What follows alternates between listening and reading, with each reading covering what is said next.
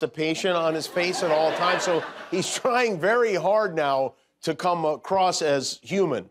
Fresh off the GOP debate just hours ago, Florida Governor Ron DeSantis joins us now. Governor, did you? I don't know if you have a, have a, a monitor there. Governor Ron DeSantis, thanks so much. Uh, best of luck the rest of the way. I know you're digging in in Iowa. Appreciate it.